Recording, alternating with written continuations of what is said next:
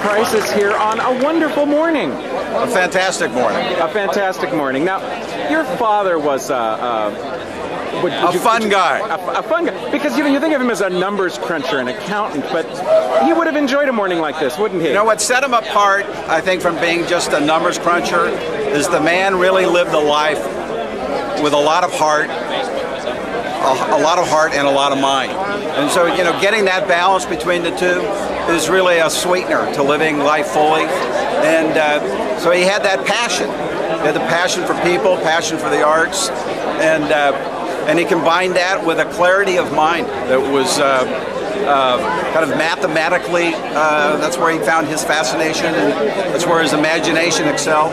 He brought those two together, and it made for a very uh, it made for a very complete man. Now, we are a website of Disney fans, okay. and one aspect of your life that we're very envious of. Let me ask you this first of all. When was the first time you came to Disneyland? Wow. Well, we were little kids. I mean, we would have been like six, seven years old. And, so, and how many times do you think you've been to Disneyland over the years? I, I, have no idea. A lot of times. But I mean, you know, what I remember are the early rides. Uh, the, the, the uh, uh, you know, driving the cars, wanting to like make sure I was tall enough to go up to the next you know, next ride and uh, you know the Matterhorn and the park in a lot of ways. I mean, it was has many of the same. Uh, it's organized in the same way and has the same uh, uh, same lands, but it's been it's been embellished over the years.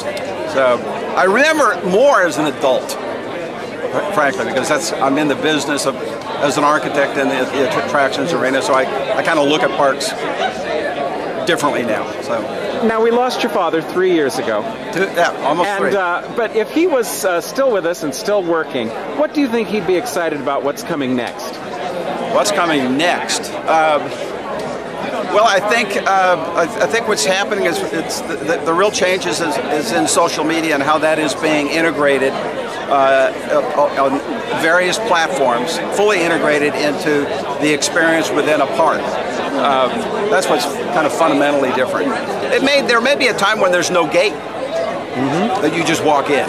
Mean, we're, we're actually getting. I'm not talking about Disney per se, but they're really uh, the the need to kind of walk through that kind of uh, formal gate. Uh, infrastructure is not really quite the same as it was before. I think it'll become more transparent. But whatever he'd do, I, I assume he'd keep it fun.